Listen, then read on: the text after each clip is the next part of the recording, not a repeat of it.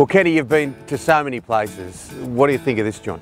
It is. It's a it's a phenomenal working environment. You know, when the minute we the minute we walked into it, the kind of eyes lit up. Uh, I mean, it's a proper facility. Like top top level pitches are great. Uh, the building and the setup is, is excellent. I mean, the lads want for nothing. Walking in here, getting to know the lads, getting to know the staff, enjoying the surroundings. You know, it's a it's an amazing place to come to work. Look, you and Carl, or, or the boss as you call him, yeah, perfectly versed to be able to pass on that message to young players about how good these facilities are. Because when you started, when he started, it was nothing like this. Not at all. I mean, I think back, I think back to around about the 2000 mark. There was only a few teams that probably had facilities back like, like this back in England. I think, and at Rangers, we opened up in 2001, and again, it was probably one of the first ones of its kind at that moment. But uh, yeah, so you, when, you, when you're brought up in these kind of surroundings, it, you can kind of take them for granted. But I can assure the, the young lads, the, the, the message getting passed on to them is it's not like this everywhere. You know, I had the last couple of years of my career uh, where it was back to the old days of reporting to the stadium, getting changed, jumping into the car and going to whatever local venue you could get. So it's. Uh, it's a special place to be, you know, and it's uh, it's up to us to, to enjoy it, get the players working and, and buying into what the manager does. But there's no better place to actually be doing it, you know, because like I said, you want for nothing. You've got everything at your fingertips. What do you think so far and what you've seen in the playing group? I know it's only early on. Uh, well, it's short, obviously, on numbers. I think that's uh, that goes uh, that goes without saying.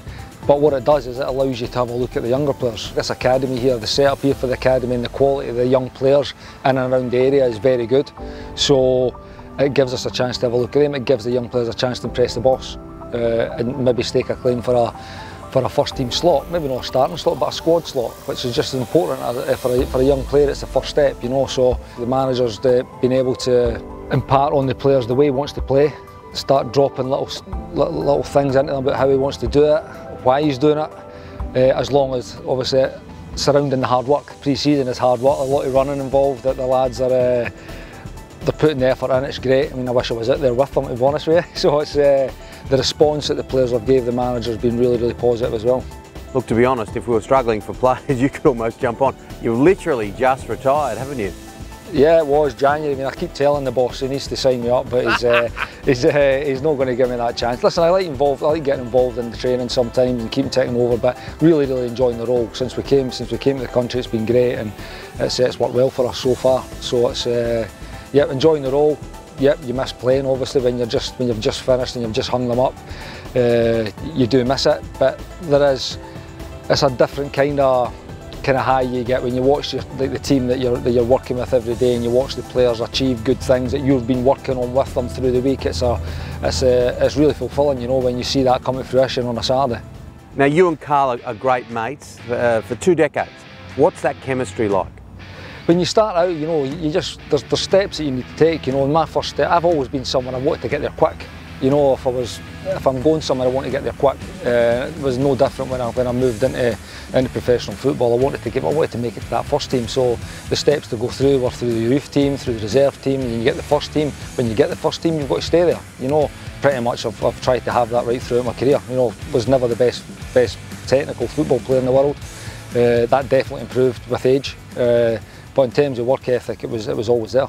Celtic and Rangers, oil and water, it's religions, it's pathology, they don't like each other, and you're in that rich band or that little group of people that has played for both. Yeah, listen, it was football presents opportunities, and like I said, I'm, I'm a winner, and I've always wanted to win. And I played for Rangers when I was young. I was 20 when I moved to Rangers. Uh, walked into a, an absolutely incredible dressing room filled with world stars at the time, not just like not just good football, we're talking world stars here. Italian stars, Germans, Dutch. We had obviously a Dutch coach at the time in Dick Advocaat and we had maybe six or seven Dutch internationalists in our team, you know, it was our top, top level dressing room, so I loved it. I realised my standards had to go up and I really loved it, but I was young and it, because of the, the amount of talent in that dressing room, game time, particularly the second season, became, it was made quite aware to me that it might not be as much as I would like.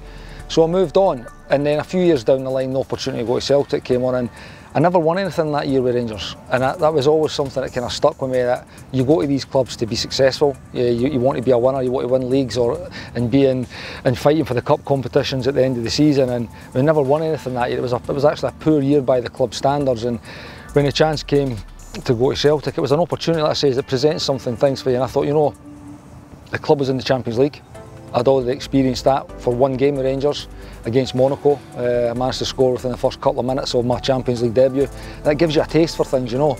So it was opportunity to play at that level again, which is the top level uh, of the game. Uh, win things, which in that year I did. Managed a league and a, and a cup. After three games of the Champions League that season, they used to do the thing on Sky Sports where they had like the leagues and then the top scorers, and then it would go into the European competition. And I was I'd scored three goals in the first three games, and your your, your picture's up there with the with the best player. You know that that's why you go to those clubs, uh, these big clubs, to, to play at that level, and that that was that was a, a, big big part of the decision to win, to play at the top level. That's why I always wanted to test myself against the best. So it was an opportunity, like I said, and it was an opportunity I took at the time. Uh, I always had a feeling at the back of my mind at some point I would end up back at Rangers.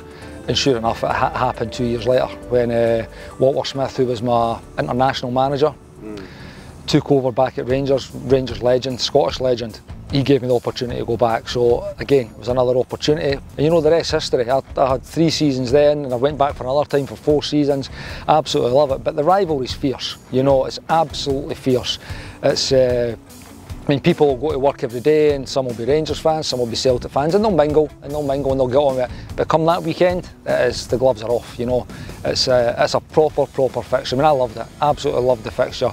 Uh, it brought the best out of me. I was fortunate enough that I scored quite a few goals in them as well. So it was, uh, again, that was a big part of me potentially getting accepted back into the Rangers family. For my first goals for, for Rangers back in 2008 were against Celtic at, at Celtic Park. So it was, a, and that game can can make or break players, you know. So that said, I was pretty fortunate that I had a had a decent a decent spell in those games. What about that time at Wolverhampton? You talk about excelling, you talk about success. To be a part of that promotion. Yeah, the, special times at Wolves. You know, it was real special times. It was a, a, a wonderful group of players to be working with over that. Uh, and it's also where I met the boss. You know, like it's, it's an interesting story that when the morning that I signed my loan papers initially for Wolves from Rangers, we're driving at the training with the manager because I, I, I, came down with Colin Cameron, another Scottish lad who signed the same time as me. We, he drove us down. So I signed the loan papers and Dave Jones had drive me, he, he drove me down to training and the first person I bumped into in the car park was the boss.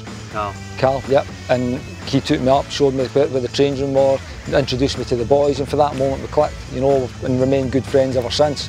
Uh, our paths have crossed over the over the last uh, 18, 19 years. Obviously, he was my first team coach at Vancouver initially, and then he became the head coach. But what I've told, the, the story that I tell is that if it hadn't been for me, he wouldn't be here because I scored two goals in his very first game as a manager against New York Red Bulls, and we won 4 4 1 we won that day. And I scored two, and uh, that set him on his, on his way to being a top coach.